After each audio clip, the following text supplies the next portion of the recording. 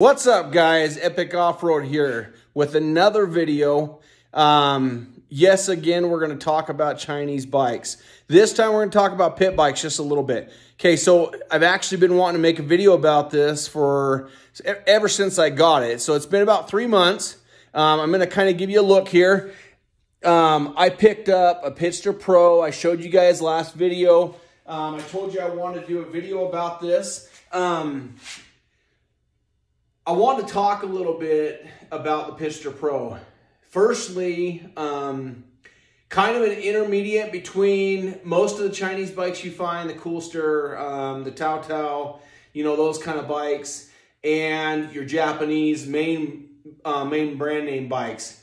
Um, Pro is well built. Um, it is just a, an awesome bike. Um, I actually bought this for myself um, kind of funny. 275 pounds, and I bought an FSE 110. Um, it's set up pretty well. Um, I, am a little bit heavy for it, um, and I and I actually can tell that when I ride it.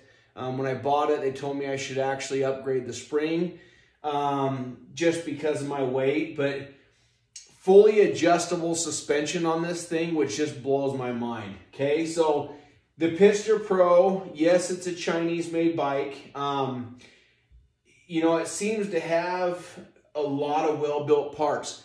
Um, the, the dealer that I bought it from actually gave me a Mikuni carb. Um, these don't come with Mikuni carbs.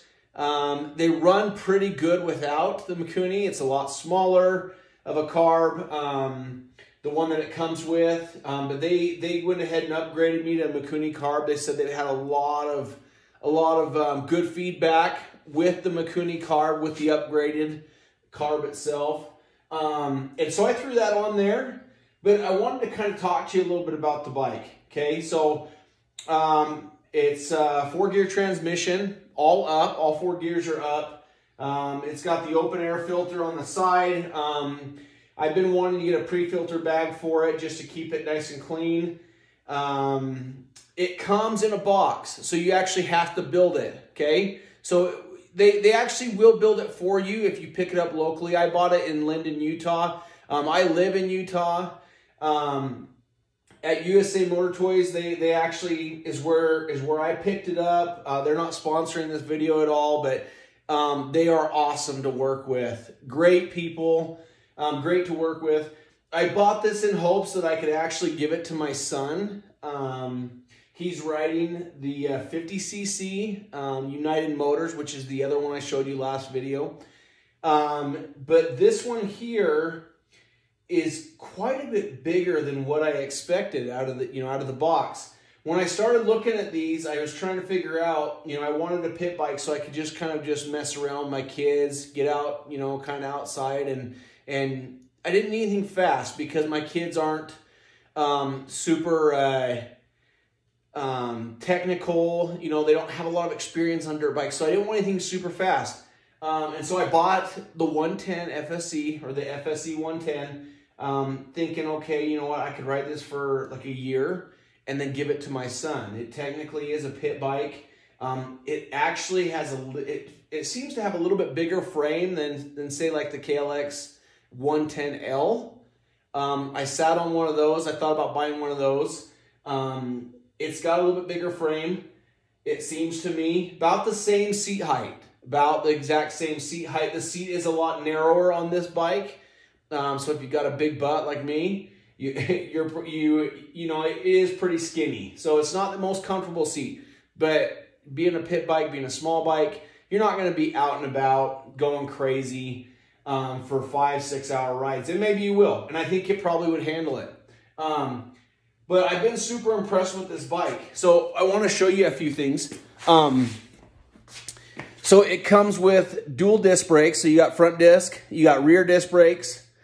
Um, like I said, I got upgraded to the Mikuni carb. Let's see if I can point to it. I got upgraded there to the Mikuni carb. Um, and and they actually did that. Um, I don't know if any other dealers do, but they actually did that for me. Um, you do have to go through um, and throw um, Loctite you have to go through and throw Loctite on a lot of the uh, um, the bolts when you put it together. Um, but it comes pretty much built. It's probably 75, 80% built already when you buy it. So it's not it's not crazy. Like you don't have to be super technical putting it together. Um, like I said, it has the adjustable suspension. See, I don't know if you guys can see that. Um, there's got a, it's a lot of adjustment. It's got adjustable forks on the top there. Um, it's a, an electric start, kick start, and let me tell you, this thing sounds amazing. This thing is awesome. Like I said last video, it sounds like a 250 four stroke. Um, it's just got a really good low grunt sound to it. Like I said, I'm, I'm a big guy, 270 pounds. Um, and, and when I get on this thing and I take off with my kids, this thing will pull me up hills. I mean, we went hill climbing just the other day. I mean, obviously I got to be in, in second gear. I can't really get up to third gear. I can't go crazy. Um, but it's got a ton of pull down low. Um, and it, and it just really is just super impressive. I got, I got another buddy that jumped on it. He's like 6'2", and he's about 250 pounds. And he's got a small tracker on his house. Um, I'll probably take some video there, and we'll throw that up on the page um, just to show you guys, you know, kind of a little bit of riding and whatnot. Um, but but just super impressed with this thing. Um, I'm gonna give you a, I'm gonna show you what it looks like with me on it. Um, give you an idea. Like I said, I'm I'm about five nine, five ten. Um, I'm 270 pounds, and and honestly, like if I was a little bit lighter, you know, it would be it would really be the perfect bike for for me just to run around my kids. Um, it does struggle maybe a little bit just because I'm so heavy. Um, so that, that you know that is what it is. But um, yeah, it's just a super good bike. You know, the graphics are awesome. The plastics are well made. Um, it's the KTM. It's based on the KTM. Uh, I think the 65 SX KTM. Um, I think it's based off that, and so um, you got you can buy those plastics off the 65. Um, the welds are great. Like the welds are amazing. I've gone through. I looked at um, the whole frame. I looked at the frame. I looked it through. I looked at all the welds. Um, I put Loctite on all the nuts, um, and I just really went over it with a fine tooth comb. It took me literally about an hour, 45 minutes to an hour tops to throw this guy together. Okay. So really wasn't that hard to put together. It really wasn't. Um, it's got the oversized foot pegs, so for people with big feet or riding boots, perfect. This thing is awesome. Um, my only complaints, I don't necessarily love, it's a, it's the semi-auto, so there's no clutch. Um, I know that's great for kids. I don't necessarily love that, being an adult rider and whatnot. Um, electric start works flawlessly, which is awesome. Uh, my son can kick it over. My eight-year-old can kick it over. It really isn't that hard to kick over. It's super easy. Um, since I put the upgraded Mikuni carb on it, runs great. It it runs amazing. Um, my son doesn't ride it a whole lot just for the fact that you know he's still pretty small for it or pretty tall. It's still pretty tall for him. So um, if you're looking into this, they're about 29 inches tall um, with the shock fully hardened. Um, if you soften up the shock, it drops it a little bit. Um, the back suspension, I mean. Um, it, you know, it's about that 20, just over 29 inches tall. So it's about the exact same height as your KLX 110L. Um, your a little bit bigger version of the KLX. Um, but like I said, I, I just feel like great quality. Um, you got the breakaway clutch lever, or the breakaway brake lever. Um, so you don't have to worry about that. Um, super impressed with this bike. I'm actually thinking I'll probably buy at least one more. I'm looking at the fat wheel, the fat tire. Um, it's about three inches taller and uh, it'll be perfect when the snow comes and whatnot. But yeah, this exhaust, the GPX exhaust, um, I believe it's a race performance exhaust, but it's just sounds super throaty. Um, it sounds amazing. Um, this does come with um, something the KLX does not come with is the the grab handle in the back, or or what I would you call it, the frame. So if you're if you're needing to pick it up, lift it, move it, um, it actually has the frame extension all the way out here past the back fender. So that that's perfect. That's awesome. Um, tires are awesome. They've done really well. I've done a lot of riding on the asphalt with my kids. Um, like I said, I've had it for about three months. Um, we've ridden probably two to three times a week. Um, so I've put a little bit of time into it, and uh, tires have held up really well. Surprisingly, these are the stock tires that come with it. Um, the wheels, black wheels. It's a little bit dirty right now. I should probably clean it, but black wheels, which is super cool. Looks upgraded. Looks really nice. You know, everyone tries to jump to those the black wheels eventually. Um, so that's super cool, and that looks really nice. Um, uh, the chain, um, it, it's stretched a little bit, hasn't done too much stretching, but like I said, when you're a big guy, the, the chain tends to stretch just a little bit.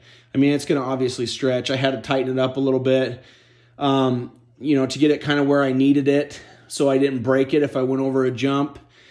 Um, the fuel line, the fuel line's crap. Okay. So on this, the fuel line's crap.